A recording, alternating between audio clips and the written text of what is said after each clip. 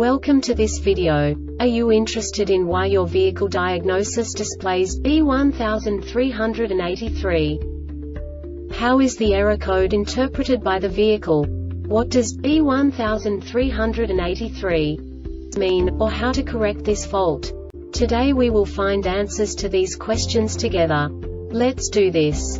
First, let's look at the history of diagnostic fault code composition according to the OBD2 protocol, which is unified for all automakers since 2000. We divide the electric system of automobile into the four basic units. Powertrain, body, chassis, network. This distribution is defined in the first character code. If the second character is expressed as zero, it is a standardized error. In the case of numbers 1, 2, 3 it is a more prestigious expression of the car-specific error. The third character specifies a subset of errors. The distribution shown is valid only for the standardized DTC code. Only the last two characters define the specific fault of the group. Let's not forget that such a division is valid only if the other character code is expressed by the number 0. Our website airbagreset.sk produces useful videos for you. You do not have to go through the OBD2 protocol anymore to know how to troubleshoot any car breakdown. You will find all the diagnostic codes that can be diagnosed in a Hummer vehicles. Also many other useful things. The following demonstration will help you look into the world of software for car control units. You unbelievably can move the video a bit further. The error code is split into two bytes consisting of 16 bits. One bit is the basic unit that each computer works with. The bit has two logical states.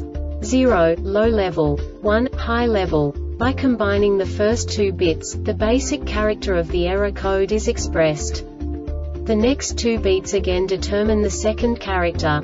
The last bit styles of the first byte define the third character of the code. The second byte is composed of a combination of 8 bits. The first 4 bits determine the fourth character of the code. And the combination of the last 4 bits defines the fifth character. A single byte conceals 256 possible combinations. We now know in what way the diagnostic tool translates the received information into a more comprehensible format.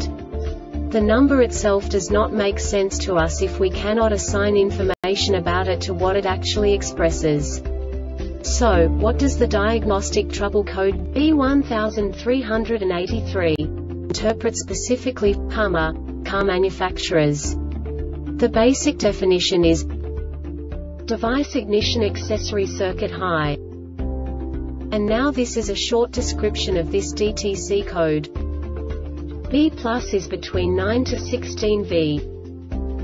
This diagnostic error occurs most often in these cases. The BCM detects that the accessory circuit is shorted to voltage.